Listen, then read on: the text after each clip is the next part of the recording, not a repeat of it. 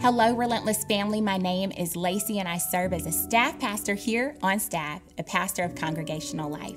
And welcome to the Intentional Fast Day 6.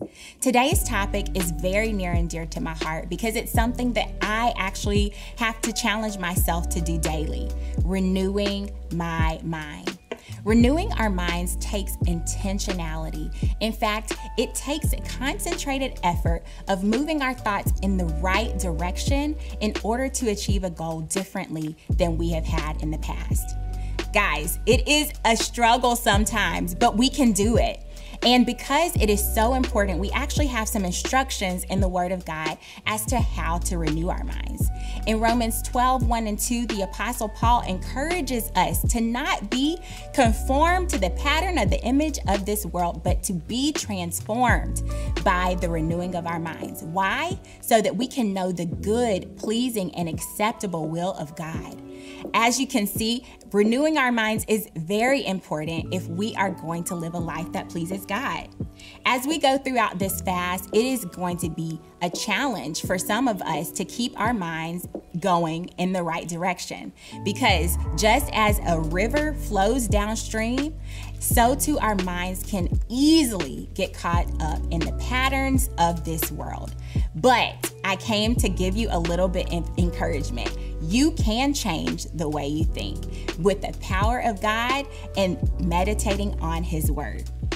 So, if you're on this fast, I know you want something different, as do I. So, let's dive into a little bit more about how we can renew our minds. First of all, it's important to make space. You're on this fast and you're creating space so that God's word can speak to you. Additionally, it's important to renew and to cover your mind with the word of God prioritize the Word of God in the morning or throughout the day so that your mind can literally change and be refreshed throughout the day. And lastly, it's so important to think on the Word of God, meditating on the Scripture. Pick a scripture, today's scripture, another scripture, and just continue to allow God's Word to literally change the way your mind works. This is important for so many reasons because as we change the way we think, we change the way we act. Then our actions influence our habits, our habit influences our lifestyle, and our lifestyle literally influences our destiny.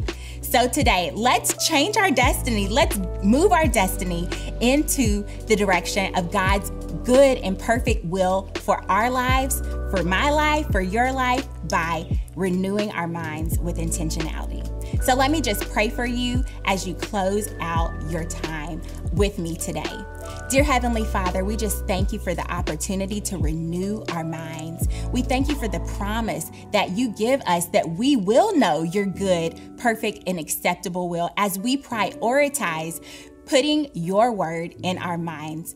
We thank you for the thoughts that are being created, the lifestyle, the habits, and the destinies that are being changed as a result of prioritizing your word and putting our thought life subject to your scriptures. We love you. We thank you. We need you. We know that we can't do this without you, but we know that you are right here in the midst, walking us through this intentional fast. Help us to make this day a great day, a great day of thinking on your word intentionally. In Jesus' name I pray. Amen. Amen.